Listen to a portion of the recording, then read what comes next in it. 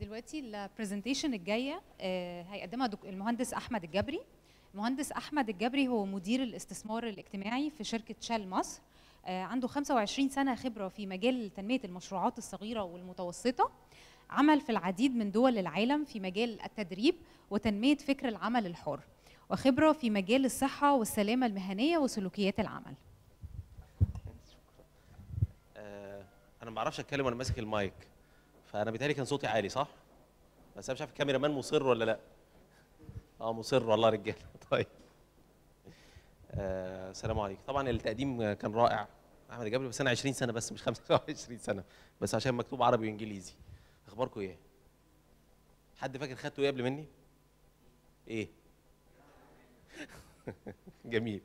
ريادة الأعمال. فول الصب بس. طيب. آه، طب حد عارف أنا جاي أتكلم في إيه؟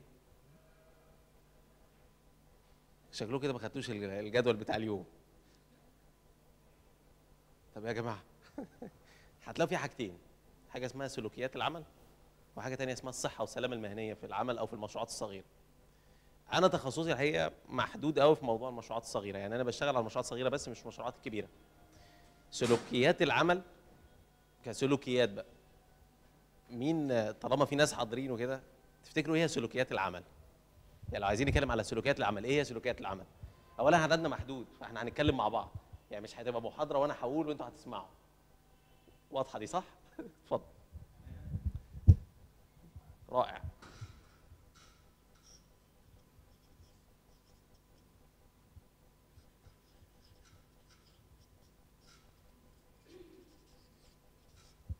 الامانه حد شايف حاجة تانية الالتزام.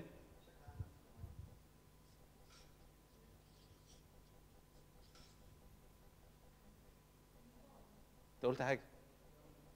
الاحترام المتبادل. طب أنا هكتب الاحترام بس عشان نبقى ماشيين على كلمة واحدة كل مرة.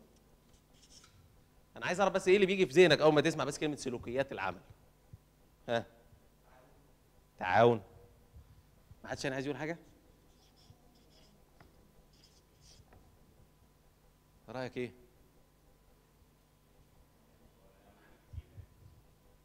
أول حاجة تخطر في ذهنك إيه لما يقول لك سلوكيات العمل؟ يعني لو رحت عند واحد وقال لك أنا بس بحترم سلوكيات العمل.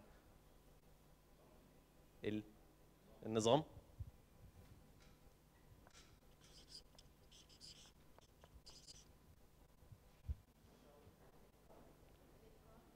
ده أنا مش سامعك. ده أنا بيني وبينك الإتقان.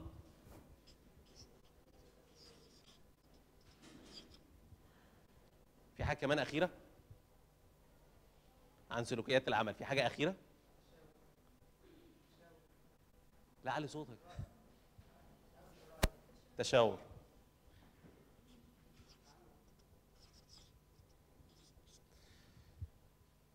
عندنا مجموعة رائعة.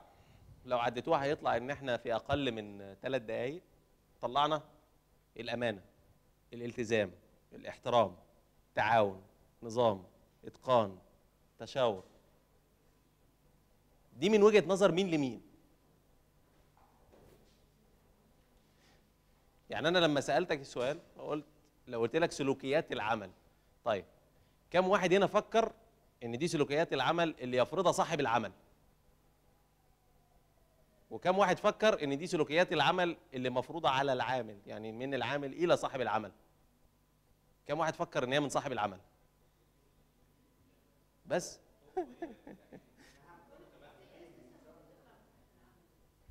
طب والعامل؟ ما عليهوش. صح. واحد صاحب العمل دايما بيحط لنفسه مبادئ عشان يمشي عليها. سياسة. فبنسمي دي سلوكيات عمل لأنه بيحط سياسة العمل في الشركة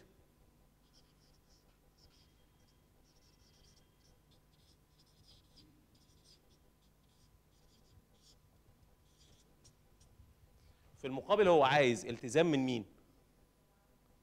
من العامل. يعني أنا عايز التزام في تنفيذ سياسات الشركة.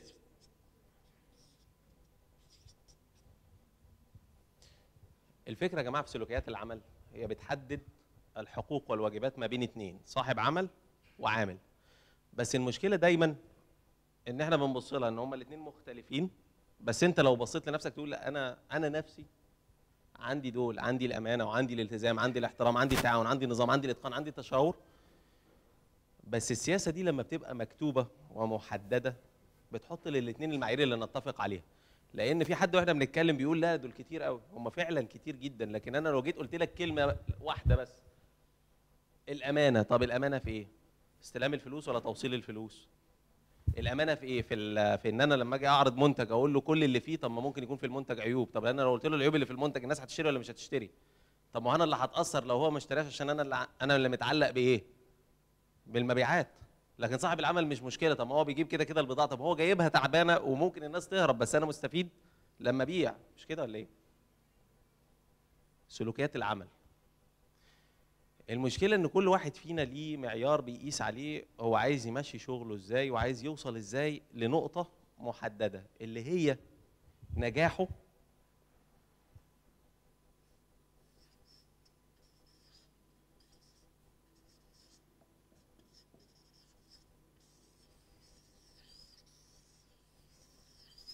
النجاح في تأدية العمل يا جماعة معناه إيه؟ بالنسبة لصاحب العمل المشروع يكبر يتوسع يبقى ليه فروع تانية. النجاح بالنسبة للعامل إيه؟ آخر الشهر بقى يعني هنتكلم على آخر الشهر. لكن الجزء ال- ال- ال- ال- المشترك في الاثنين إنه لو نجحت الشركة يبقى حضرتك لما تخرج وتسيب الشركة هتقول أنا اشتغلت في شركة ناجحة اسمها كذا موجودة في السوق شغالة اسأل عني هتعرف كلنا ملتزمين بإنجاح الشركة من خلال المجموعة بتاعه الأمانة والالتزام والإحترام والتعاون والنظام والإتقان.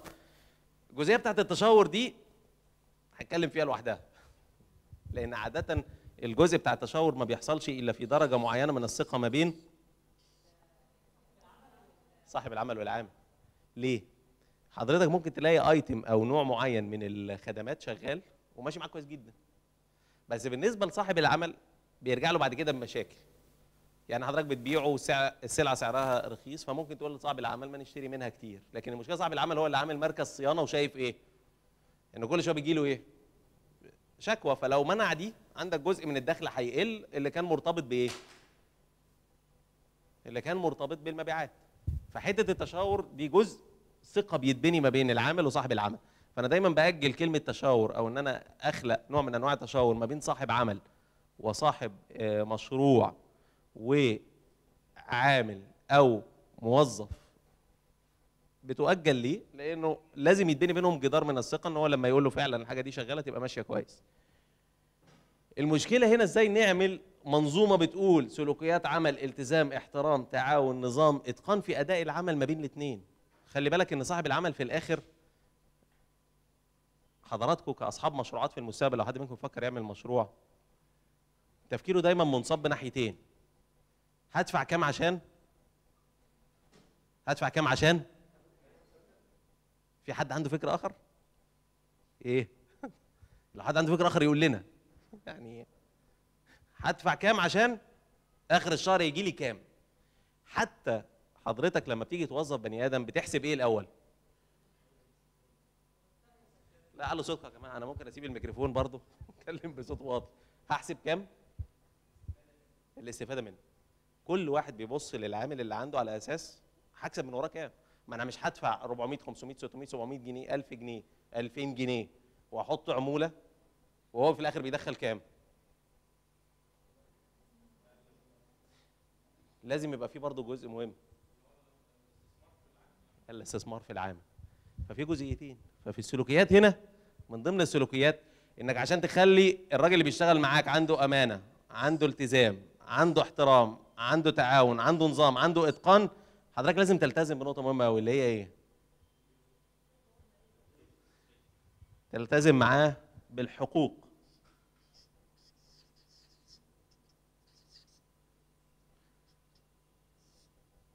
واحد بتيجي نمرة واحد على راس أولويات الحقوق اللي دايما بننساها كأصحاب عمل التدريب.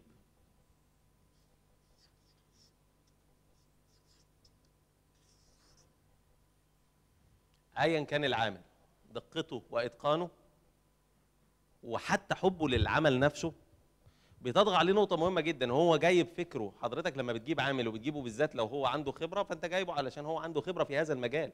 بس لازم يتدرب عشان يتعلم ال- ال- البيئة اللي حضرتك هتحطه فيها الجديدة اللي هيشتغل فيها الجديدة. وعلشان تخلق منه الالتزام لازم تعلمه الولاء للمنتج والايه؟ المشروع بتاعك. والا حضرتك لو هو ما يعرفش الولاء والالتزام للمشروع هنا المسألة ما هياش قوانين فقط على فكرة. هنا المسألة داخل فيها تدريب يؤهل سلوكيات هذا العامل إن هو يرتقي ويفكر إنه أنا المصلحة بتاعتي تقتضي إن أنا أحافظ على هذا المكان. عشان يحافظ على هذا المكان لازم أرفع من مستواه بالتدريب وأرفع من مستواه بالتعامل وأرفع من مستواه بطريقة تأدية العمل والخدمة. عشان أرفع دي يبقى أنا عملت على نفسي التزام. ده نوع من أنواع الاستثمار. لما حضرتك تخطط لمشروع دايما بننسى الجزئية دي. عشان تخطط لمشروع وتتكلم في استثمار دايما بتبص أنا هصرف كام عشان آخد كام؟ أنا الجنيه هيجيب لي كام جنيه؟ بس حضرتك عشان الجنيه يجيب أقصى قيمة لازم حضرتك تحط أول حاجة المعايير. المعايير دي عشان نتفق عليها هنسميها بس سلوكيات العمل. سلوكيات العمل داخل منشآتك. نقطة ال- الأمانة هناخد مثال بسيط. لو حضرتك عندك مشكلة في النجارة في البيت لازم تجيب إيه؟ لازم تجيب إيه؟ في حد مختلف عن النقطة دي؟ لو هنتفق إن هو هيركب ترباس هيركب إيه؟ في أبسط من كده؟ كم واحد منكم يعرف دي تكلفتها كام؟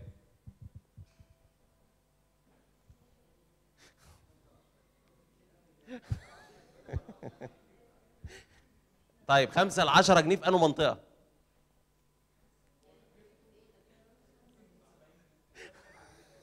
وصلنا ل 70 جنيه فجأة. في حل طلع في النص دلوقتي إن أنا أجيب الترباس واركبه يعني النجار خسر وإحنا قاعدين. يعني المشروع فشل وإحنا ما اتكلمناش. في مشكلة كبيرة قوي يا جماعة في الحتة دي. جميع أنواع الحرف اللي موجودة في مصر لا تلتزم بجزء اسمه سلوكيات العمل. ما هو لو حضرتك تعرف مكان تكلمه وتقول له ابعت لي ال- ال- الحرفة الفلانية عشان حضرتك عارف إن هي هتكلفه كذا. زي ما بقية الدول هي لا تقيم بال على فكرة بال... بال... بالقيمة اللي إحنا دلوقتي قعدنا نفترضها اللي هي ثمن الترباس وبعدين تركيب الترباس وبعدين إصلاح الترباس وبعدين بعد كده لا الترباس مش شغال يجي يفك ويركب واحد تاني. هي بتقيم بعدد ساعات العمل اللي اشتغلها. هو الراجل ده زيه زي حضرتك لو حسبت يومك تلاقي إنك لو أنت بتقبض يبقى بتاخد 100 جنيه. حضرتك لو بتقبضهم في الشهر قسمتهم على الأيام حضرتك بتشتغل 21 يوم ما بتشتغلش 30 عشان ما حدش يقسم على 30 عشان حضرتك تاخد جمعة وسبت إجازة. حضرتك لو قسمت ده على 8 ساعات يطلع لك قيمة الساعة اللي حضرتك بتقبضها فلو جه ركب الترباس في ساعة وكانت تكلفة الساعة بتاعته 10 جنيه وهو ركبه في ساعة يبقى حضرتك المفروض ياخد كام؟ بدون الخامات صح؟ هنا ينطبق عليه مبدأ لما تيجي تعمل مشروع بص من المبدأ البسيط أنا بعمل مشروع عشان أنا أكسب وأفيد اللي هيستفيدوا اتنين واحد هيحصل على الخدمة واحد بيشتغل عندي بيؤدي الخدمة وعلشان يديني منظومة سليمة هذه المنظومة تقتضي إنه يبقى عنده أمانة والتزام واحترام للمنتج وليا كصاحب عمل وللعميل اللي بيروح له علشان أنا أقدر أعمل سمعة كويسة.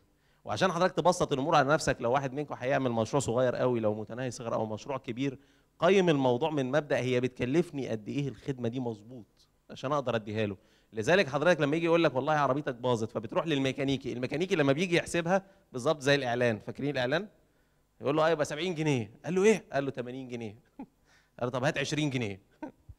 الفكرة كلها حضرتك لو رحت التوكيل تبص تلاقيه كاتب ثمن قطعة الغيار. بعد ثمن قطعة الغيار بيكتب إيه؟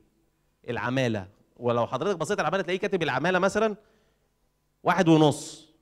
تفتكر العمالة دي يعني واحد ونص عامل؟ ولا هو عامل اشتغل يعني فاهم بالجزء ال- الفوقاني الأول وبعدين في الآخر ختم برجليه. الواحد ونص دي عبارة عن إيه؟ ساعة ونص أو يوم ونص أو تكلفة عامل ونص. يعني عامل اشتغل والتاني اشتغل نص يوم فقط فهي تبقى واحد ونص. ليه؟ لأنه حط لنفسه مانيوال إحنا نسميه سلوكيات العمل. عشان لما يجي يطلع الخدمة بتاعته طبقا للتعريفات اللي طلعناها يبقى عنده أمانة وإلتزام وإحترام. عشان يؤدي للنقطة اللي حضرتك في الآخر سعيت ليها لما عملت مشروعك النجاح فيه العمل. بس نجاح على أساس سليم. وعشان حضرتك تقنع العامل اللي عندك محتاج تعلي قيمة التدريب. عشان تعلي قيمة التدريب يعني بتستثمر في العماله اللي عندك. ومستحيل تلاقي عامل في الآخر يخش في شركة صغيرة أو كبيرة. وعنده كل حاجة محددة بإطار معروف وبعدين يجي في الآخر يسيبك ويمشي. دايما هتلاقي عنده الحتة بتاعت الحرج لأن حضرتك استثمرت فيه وحطيت جزء من مجهودك معاه عشان تنجحه. ال- الجزء الثاني إن حضرتك لو عايز تعمل الحتة بتاعت الحقوق وتطبق سليمة 100% لازم تكونوا أنتوا الاثنين مقتنعين بالمبدأ هيمشي إزاي. الجزء ده بيكمله حتة تانية مهمة قوي وهي الاهتمام بالعامل نفسه. حضراتكم في كتير قوي من المشروعات اللي بتجيلنا وبنشتغل عليها لأنه أنا قلت لكم أنا عندي خبرة في مجال المشروعات الصغيره لكن الفكرة كلها إن في مجال المشروعات الصغيره في مجال التدريب بي بيواجهك آه، آه، حاجات كتيرة. بس على رأسها سلامة العامل. أي واحد فينا ما عندوش استعداد يغامر بحياته. يعني الدنيا بتمطر وممكن يتزحلق ورجله تتكسر في مقابل إنه يقعد شهر في البيت ما يشتغلش مش شيء ظريف. واحد هتيجي تقول له طب تعالى عايزين نطلع حاجة آه، أنتوا طبعا عارفين مبدأنا كشعب مصري. لو حد طلب منك خدمة تقول له إيه؟ لا هي ورا هي باينة هي آخر واحد قالها إيه؟ أي حد يطلب منك حاجة تروح قايل له إيه؟ ودي مشكلة. إحنا بن... بنوعد بالحاجة قبل ما نفكر هي هتعمل ولا لأ. يعني الأول تقول له حاضر وبعدين يقول له حضرتك كنت عايز إيه بقى؟ دي واحد. اتنين. نبص للخدمة نفسها. حضرتك لو واحد عربيته عطلت في الشارع كم واحد بيقف معاه؟ لا ولا واحد دي جديدة بس ده, ده اليومين دول. لكن قبل كده كم واحد؟ كتير. كم واحد منهم ميكانيكي؟ طب كم واحد من الواقفين هيفيده شفتوا فيلم عسل أسود؟ كم واحد فاكر الكاسيت ماله؟ ده جهاز تحديد اتجاهات. الراجل قال له الكاسيت ماله بقى؟ هو سليم أهو. التخصص. إحنا عندنا كده قدرة إن يعني إيه ربنا وهبنا يعني القدرة إن إحنا إيه يقول لك المصري بيفوت في أي حاجة. لا. عايزين نقف بقى نرجع كده خطوة لورا نقول لا المصري ما بيفوتش في أي حاجة. ونمشي على نقطتين مهمين. إن يبقى عندنا سلوكيات في العمل واقول اللي ما اعرفوش ما اعرفوش واللي يعني أعرفه أعرفه واللي أعرفه بعرف فيه إيه. ما هو أنا برضو مش لازم يكون أعرف الصاروخ يعني من الإبرة للصاروخ ومش لازم أكون أعرف العربية بتركيبها بمفصلاتها بمكوناتها. الجزء الآخر اللي كنت هتكلم عليه ال- ال- ال- المخاطر الصحية والبيئية. آه، خلال الرحلة بقى على مدار 20 سنة مثلا تلاقي حد بيعمل مشروع بتاع آه، منتجات جلدية. فتفاجئ إن المشروع كله عبارة عن أوضة متر في متر. الأوضة المتر في متر دي كلها اللي بتطلع لحضرتك ال- الشنط والأحذية رائعة بس هي بتطلع منتج تاني جنبهم. طلع مدمن للكل. لا تهوية المساحة بتاعتها صغيرة جدا والراجل كل دوره في الآخر على فكرة إن هو بيقسمه شغل كويس جدا إنه يلزق ال- الجلد. عملية اللزق بدون تهوية مع وجود الكله بتخلق مشاكل كتير جدا. النقطة الثانية بعد ما بيخلص الطريحة وبيخلص المنتج بيطلب من العامل إنه يعمل إيه؟ يشيل. طب أنت عايزه يشيل؟ بتعرضه لمخاطر جسيمة من ناحية الظهر والرجل والإيد. العامل هنا ما بيقولش لأ على فكرة عشان بس نبقى واضحين يعني. لأن هو بيقول له بدل ما نجيب عامل يشيل فنقسم بقى الريسك وبتاع. طب ما نزود أنت فلوسك وتعالى شيل. وأنت لما تشيل يبقى إحنا إيه؟ قسمنا البلد نصين وتعالى بقى خد ال- الحاجة شيلها. فالراجل يروح شايل الحاجة. فأنت ما بتبقاش عارف أنت بتستهلك قد إيه من مقدار عمرك أنت الشخصي لو أنت بتعمل ده. ومقدار مشروعك لو هو ده عامل ماهر فأنت بتخسره. فالمخاطر الصحية والبيئية ممكن تتضمن ثلاث حاجات. الإصابة الشخصية الأمن وتأثير محتمل على البيئة. تأثير محتمل على البيئة لأن أنا بيبقى عندي ساعات في المشروعات الصغيرة مشروعات كيماوية. المشروعات الكيماوية كلها يا جماعة اللي أنتم سمعتوه حتى من وزير الإسكان من يومين إنه هيغير الصرف وبعدين يمنع أي مشاريع كيماوية لأن ده بيأثر على الصرف بوظه كله عموما يعني. ففي أج- يعني في تأثير محتمل على البيئة موجود. لو حصل تسريب أو بتنتج حاجة ما بتتحللش. تشوفوا الأكياس البلاستيك اللي طايرة دي. دي بتقعد قد إيه في البيئة؟ حد عارف؟ لا تتحلل. حتى لو قعدت العمر كله لا تتحلل. حتى لما تختفي من قدامك هي ما تحللتش. لذلك هتلاقوا دلوقتي الناس بتكتب على الكيس يتحلل بنسبة 100% ده التزام بيئي كان موجود على فكرة من حوالي 40 سنة أو 50 سنة البلاد اللي بره. دلوقتي حاليا مصر بتطبقه ده شيء كويس. بس في منتجات لازم حضرتك تبقى عارف إن هي مستمرة معاك وتأثيرها على البيئة موجود زي صابون الغسيل. ده موجود ملوش حل. هو مستمر معانا. بس لازم الناس تعرف بالذات في المشاريع الصغيرة وأنت بتصنع إن ده في مشكلة. أنا واحدة فيهم. الصابون ولا المشكلة البيئية عموما؟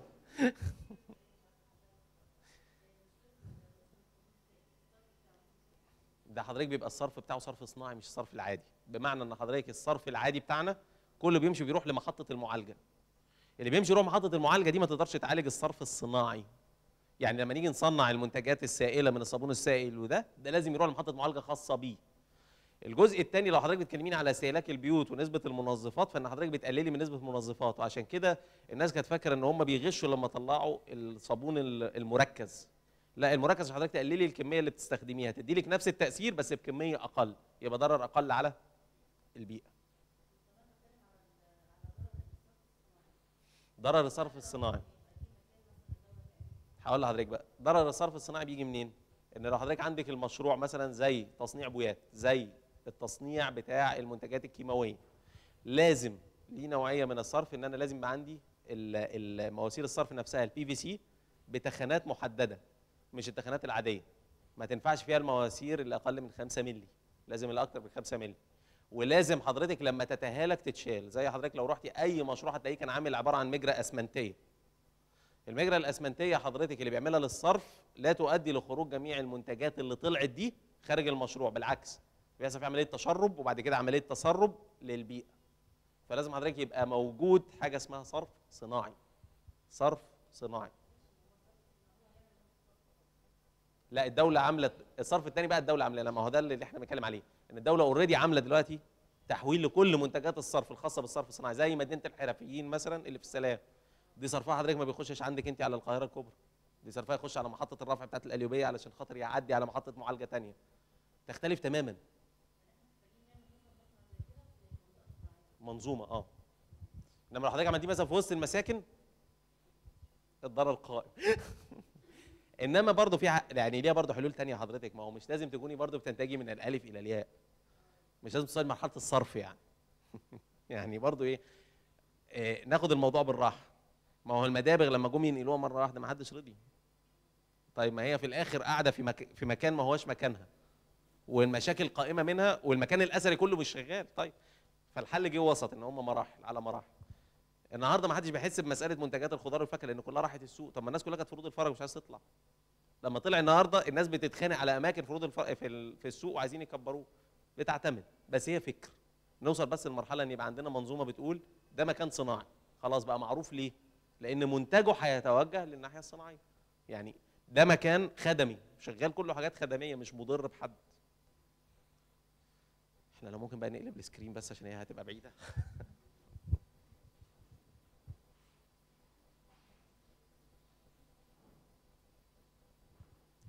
الجزء اللي كنت بتكلم عليه على التداول اليدوي.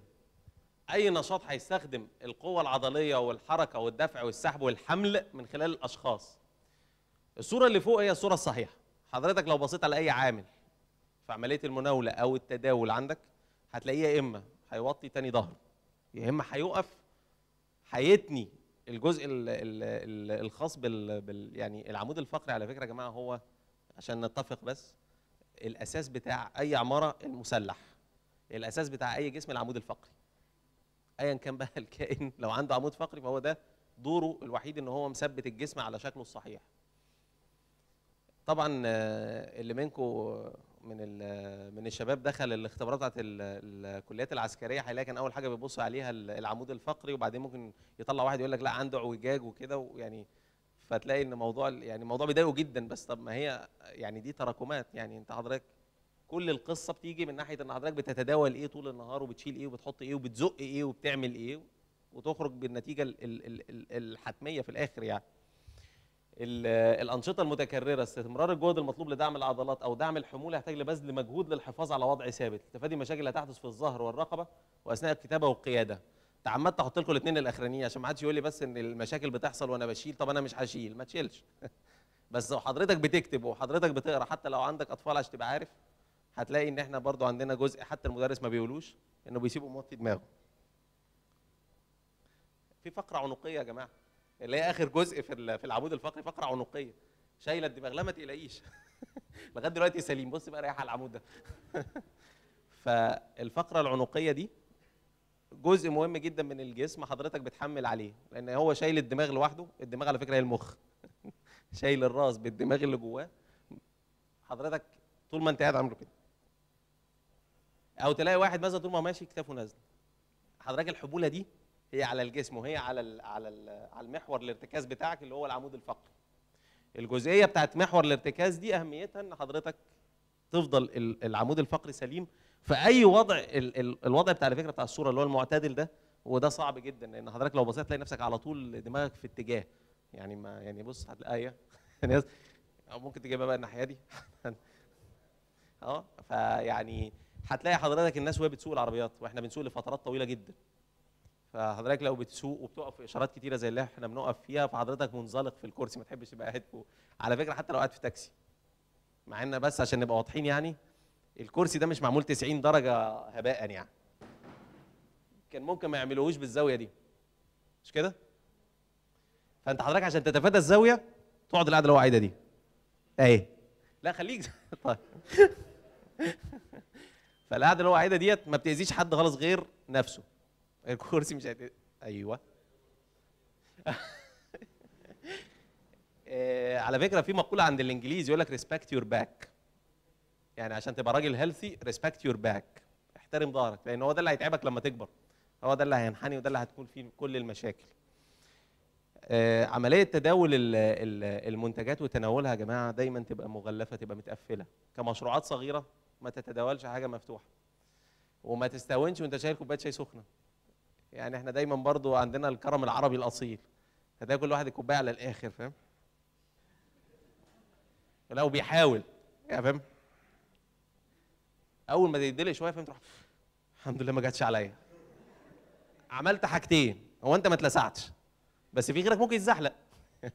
يعني كان ممكن حضرتك بمنتهى البساطة تخليك في الأمان وتشيل الجزء منها اللي هو العلوي يعني يعني الحبة اللي هم اللي كانوا في الزيادة في الآخر ويعني وتمشي بيها عادي. يعني أنا مش عايز أطيل عليكم على فكرة. أنا بس يعني آه، كنت بحب دايما في في أسبوع الريادة إن أنا أكون موجود. دايما بحب أتكلم على المشروعات الصغيرة والصحة والسلامة. هكون موجود معاكم لفتره في الآخر هتلاقوني في آخر القاعة. وعايز أعرفكم على حد إحنا بنعمل برنامج انطلاقه سمعتوا عن برنامج انطلاقه مش كده؟ وفي ناس قاعدين من انطلاقه مش كده؟ طيب فعايزين نعرفكم على نموذج يعني آه، مجتهد. هو قاعد معانا آه، فازت السنة اللي فاتت بالجائزه ال- الأولى. كان قيمتها 50000 جنيه برنامج انطلاقة خاص بالمشروعات الصغيرة والتدريب على المشروعات الصغيرة. وهي عاملة المشروع بتاع ال ال ال الطباعة وبيلتزم بجميع سلوكيات العمل والتناول والتداول. فاحنا مطمئنين لما هتكلمكم على المشروع يعني هنبقى بنديكم صورة عامة عموما المشروع الصغير ممكن ينجح إزاي. وهي معاكم ممكن تسألوا كل الأسئلة اللي أنتوا عايزين تعرفوها لو حد عمل مشروع صغير ونجح وخلال فترة يعني إحنا بنعتقد إن هي قياسية. في أي أسئلة لأحمد؟ اللي حاضرين مننا برنامج انطلاقة أستاذ أحمد هو مدير برنامج انطلاقة. فاللي عايز أي أسئلة أستاذ أحمد معانا في حد عنده اي اسئله؟ لا يعني نبقى in general خلاص في ال business ethics والسلوك والمشاريع الصغيره مش عارف بس اتفضل أنا شايف مصر يبقى صعب شوية للمشاريع الصغيره اللي هي آه بالظبط آه والسلوكيات العامه عامه بشكل عام بتبقى صعبه قوي يعني آه، تحس ان مش مش مش هي قدام بتنفع بس في بدايه مشروعك ما بتبقاش مهمه جدا ليك بالعكس ممكن تاثر عليك إزاي؟ يعني عشان اهتم مثلا بمكان مثلا حضرتك المثال اللي قلته مثلا الورشه بتاعت الجيل آه، عشان اخد مكان كبير شوية واوسع واعمل فيه تهويه واحط فيه هواءات الكلام ده كله كل دي تكاليف بحيث ان هو عامل نفس انتاج مشروع كويس جدا في متر ونص متر ونص زي ما انت قلت طيب هقول لك على حاجة هي هي نفس تكاليف بس هنحسبها واحدة واحدة يعني. هو أنت بتدور على مكان تعمل فيه مشروع صغير مش كده؟ هيفرق معاك لو كان فيه شباك أو ما فيهوش؟ يعني هيحاسبك على الشباك بمعنى أدق؟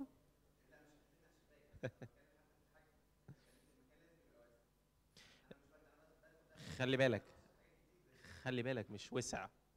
جيد التهوية مش لازم يبقى واسع. جيد التهوية يعني في مصدر تهوية. وأحددها لك بالظبط يعني عشان الناس اللي بتعمله في البدروم. يعني تحديدا اللي بيعملوا في البدروم مفيش أصلا منفذ لا نور ولا هواء. فدي بتختلف تماما. وهقول لك برضه على حاجة تانية يعني. ما هو جودة المنتج اللي معمول في بدروم يعني ما فيهوش تهوية جيدة معناه إن هو هيبقى فيه نسبة رطوبة عالية. ففي الجلد مش هينفع. فمش هيبقى ناجح وهيبقى مشروع كويس بس مش هيبقى مشروع ناجح. على فكرة في انطلاقة هي اسمها يعني أساس ال- الكورس بتاع انطلاقة هو become successful owner manager يعني كيف تصبح مالك أو صاحب مشروع صغير ناجح. هي الفكرة إن كلنا ممكن نبقى أصحاب مشروعات بس كلمة ناجح دي بتفرق. يعني هي دي ده المعيار. إنه يبقى المشروع الصغير الناجح هيبقى ليه معايير. واحدة منهم سلوكيات العمل. صعوبة تطبيقها على فكرة جزء منها لو خدت بالك كلها عبارة عن عن إحنا بنسميها بال يعني بالإنجليزي اللي هي الاثكس ف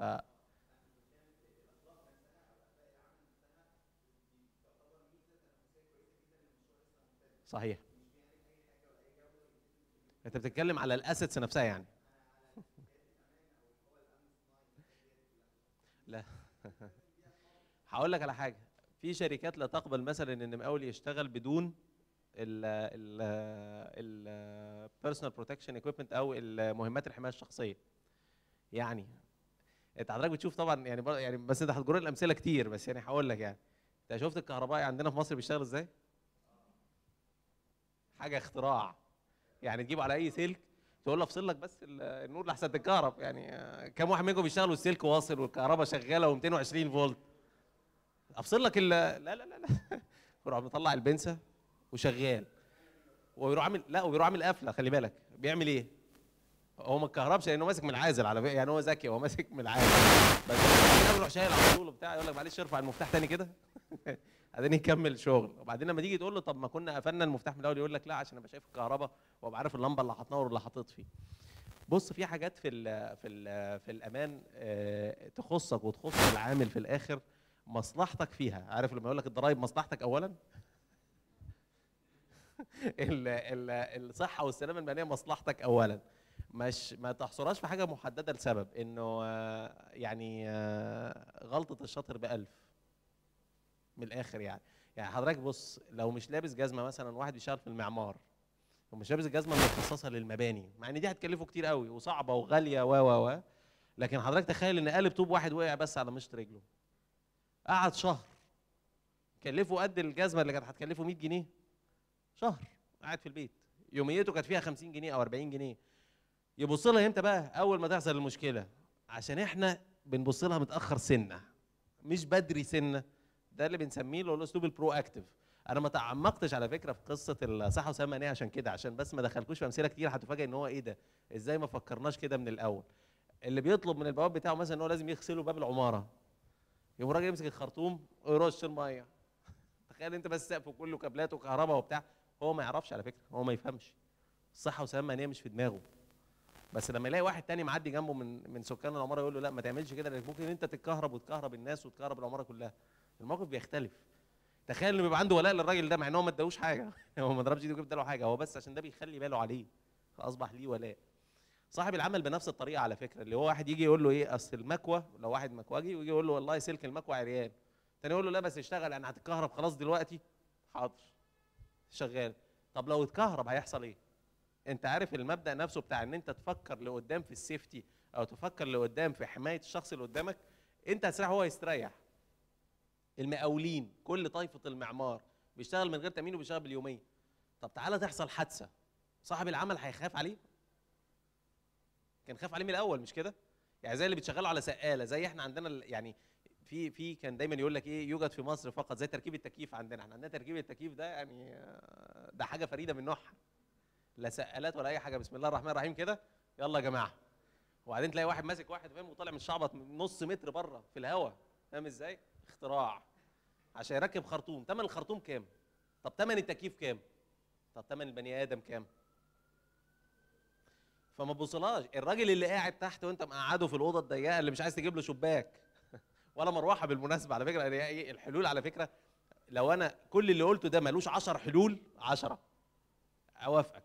إنما 10 حلول. مش عايز مروحة. طب نجيب له شباك. طب مش عايز شباك عشان ما يهدش عشان تراخيص والحي.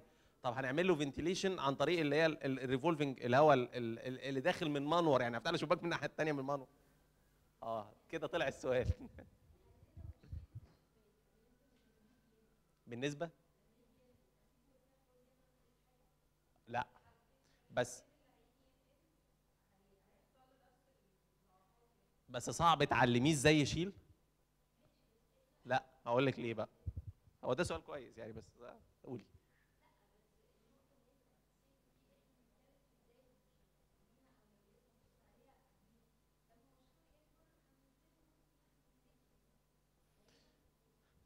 هو ما حدش بيقول لك أول ما تبتدي اعملي السيفتي نمره يعني نمرة واحد بس كم واحد فيكم الفترة الأخيرة دي قرأ على حرايق لمشروعات كتيرة في مصر؟ كبيرة وصغيرة.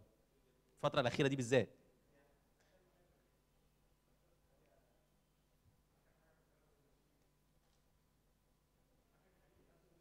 الغزو والنسيج صح بس دي كبيرة قوي يعني في مشاريع صغيرة سيطر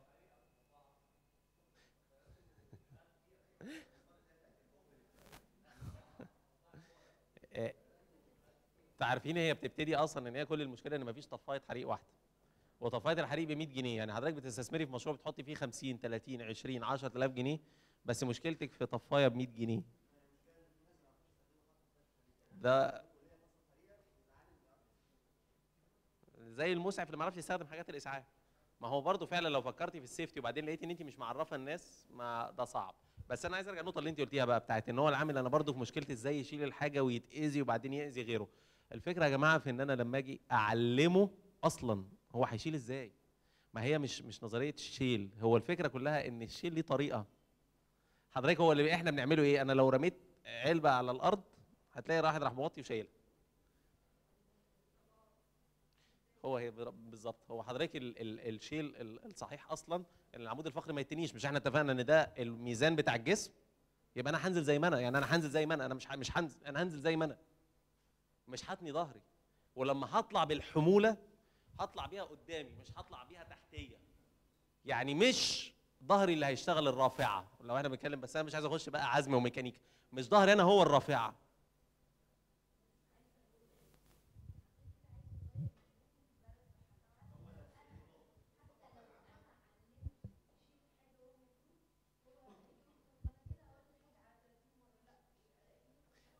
إحنا كام واحد في في السيشن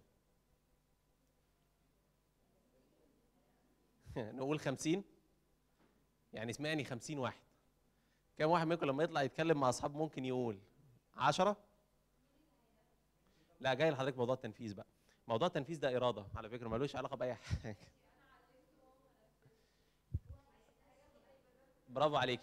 آه أنا علمته وهو ما نفذش ده مبدأ تاني خالص. أنت عارفة الثواب والعقاب؟ لا وانت لازم أول حاجة تروحي طرداه.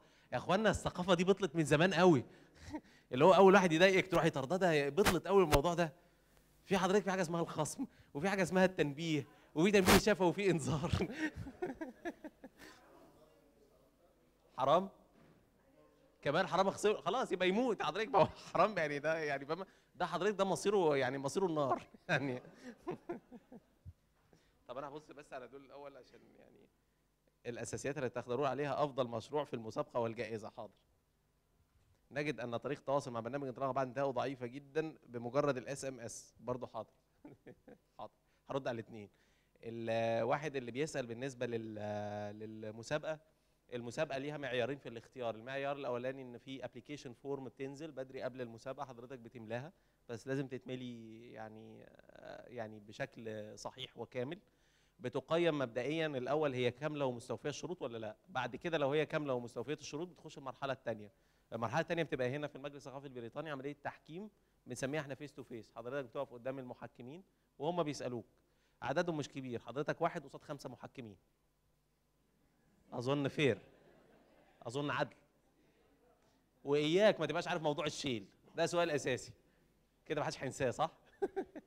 لا يعني حضرتك الخمسة دول بيسألوا عموما في أركان المشروع وعموما عشان الناس دي تبقى عارفة ال- المشروع أكتر فبيبقى بينهم حد من بنك حد من جمعية حد من شركة زي مثلا شيل أو كده وحد من من هيبقى من من من قطاع خاص وهكذا. في الآخر الخمسة اللي قدام حضرتك كلهم معرفتهم مختلفة وكلهم علمهم عن مشروعك هيبقى متساوي. فهيدي القرار والتقييم طبقا للخمسة اللي بيتنافسوا على نفس الجائزه بطريقة متساوية وكلها فيها عدالة يعني.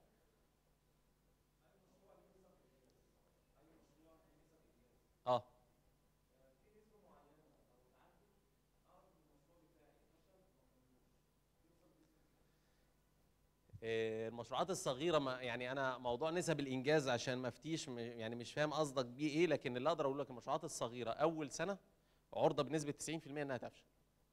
تاني سنة عرضة بنسبة 85% ل 80% إنها تفشل. تالت سنة النسبة دي بتوصل ل 50 50 من السنة الرابعة حضرتك بتحقق أرباحك ومستمر إلى ما لا نهاية إن شاء الله طالما إن حضرتك مهتم بمشروعك. النسب دي مش أنا اللي حاططها دي النسب العالمية. بس في مشاريع نجحت من أول أسبوع. وفي مشاريع ما نجحتش لمدة 3 4 سنين وحاولوا فيها وما نجحتش بس لما واحد خدها نجحها وهكذا. فما فيش حاجة اسمها كده لكن في حاجة اسمها إن يعني النسبة المتعارف عليها للمشروعات الصغيرة في أول سنة 90% عشان كده بتحتاج لصبر ودعم ومساندة. ده سبب وجود البرنامج إلى يومنا هذا. الجزء الثاني هو إن هي النسبة دي بتزيد كنجاح وتقل كفشل مع مرور السنين. فحضرتك كل ما بتعدي سنة بتقول كده أنا يعني وصلت لبر الأمان أكتر. فأكتر فأكتر لغاية ما المشروع ينجح. بس ما فيش روشتة محددة بتقول يعني إيه إيه ال إيه, ال المشروع اللي نجح من أول يوم وايه المشروع اللي ما نجحش من أول يوم. إنما يعني كان أكبر مثال صارخ لغ يعني آه، لوقتنا ده اللي هو الفيسبوك. يعني أكيد كلكم عارفين القصة بتاعت زاكربيرج نفسه صاحب الفيسبوك لما جه وعمل برنامج.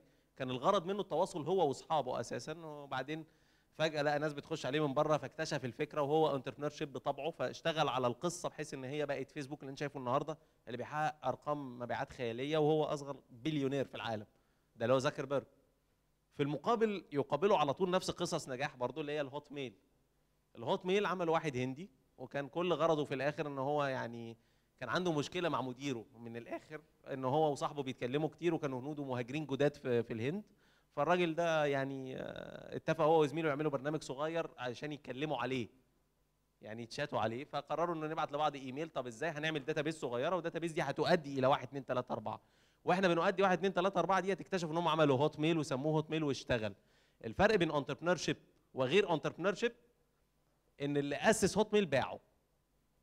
وباعه في مقابل إنه يبقى موظف في مايكروسوفت عشان يقبض دخل شهري وجزء من الفلوس دي يتبرع بيه وعمل جامع و و و وعاش وفي أمريكا وكل حاجة. وما زال موجود إلى يومنا هذا. هو اللي ماسك ال security بتاعت آه، مايكروسوفت. في حين إن زاكربرج لغاية النهارده ما باعش فيسبوك وبيحقق منه. فتعتمد حضرتك اتجاهك إيه في مجال المشروعات الصغيرة؟ آخر سؤال عشان بس يعني آه، أسيبكم لل- لل- اللي بعد كده. فطريقه التواصل مع برنامج انطلاقة بعد انتهائه ضعيفة. لا الفترة اللي جاية إحنا بنعمل revamping لل website أصلا. إحنا بنبني ال website من أول وجديد في البرنامج. وهيبقى عملية التواصل كلها شبه الفيسبوك عشان إحنا بنحب زاكربيرج جدا هتقدروا تتواصلوا معانا وهتلاقونا دايما موجودين وهتلاقونا دايما موج... يعني أنا هتلاقيني عموما موجود في. في. في التواصل الاجتماعي بالإضافة لكده إنه يعني إحنا يعني لينا كذا مقر ومن ضمنهم على فكرة هنا ال- المجلس الثقافي البريطاني اللي هيجي هنا هيقدر يسيب ال- ال- اللي هو محتاجه حتى لو في الريسبشن وهيقول ده البرنامج انطلاقة هيجي لنا إحنا تقريبا شغالين كل أسبوع موجودين معاكم فاللي محتاج حاجة هيلاقينا ومن خلال الناس وهيوصل المعلومة اللي هو عايزها اشكركم على حسن الاستماع وكده بالتالي مفيش أسئلة تاني.